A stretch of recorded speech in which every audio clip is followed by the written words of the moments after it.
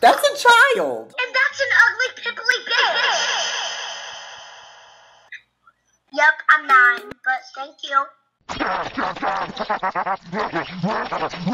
nine, but thank you.